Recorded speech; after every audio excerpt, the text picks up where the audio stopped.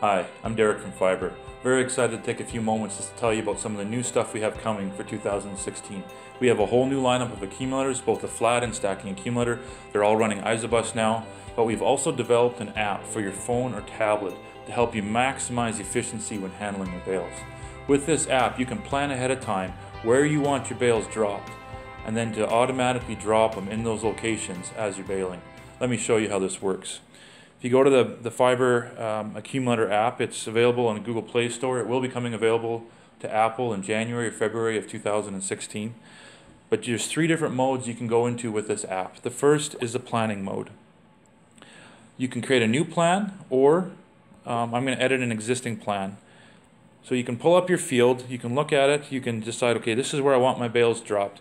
To create a zone, what you would do is you'd push and hold with your finger to drop a pin, and then you would drop a second pin, and now you've just created a zone in between those. So we're just utilizing Google satellite images um, to look at your field.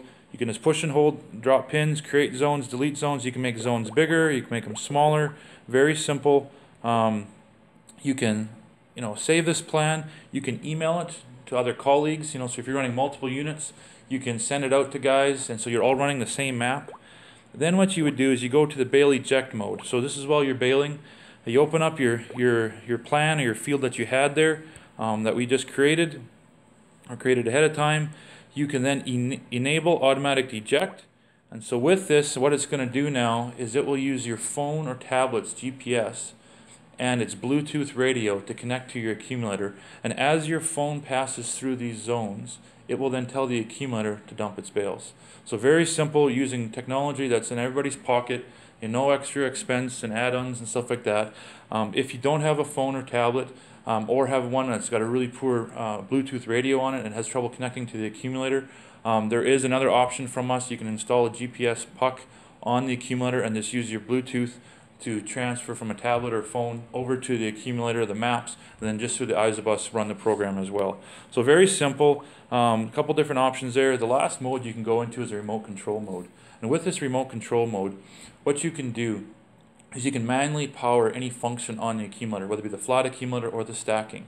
So for maintenance, for service, uh, you eject the last bale out of your chamber, and you want to open the tailgate to let it roll out on the stacking accumulator or push it off with a flat, well you can just manually power any cylinder or any function on the accumulator uh, in those applications or in those situations. So this is what we have coming for 2016. We're very excited about it. Trust will add a lot of productivity and efficiencies to your farm um, and just, just make uh, bale handling uh, a little bit easier. So thanks for checking us out and uh, uh, call us for more if you have more questions. Thanks.